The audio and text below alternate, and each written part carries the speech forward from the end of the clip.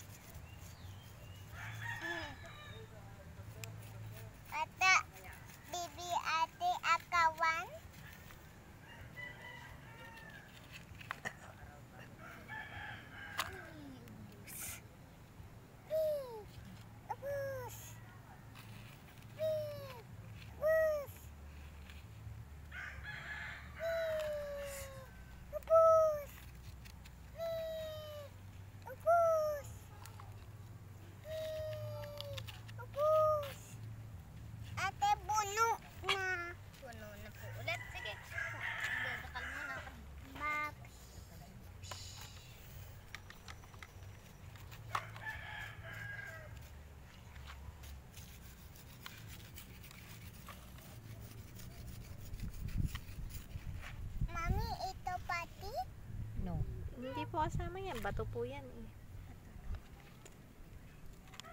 Ano itatanim natin dyan pag naipon nyo yan? Lalagyan natin sa paso. Tatanim tayong gulay.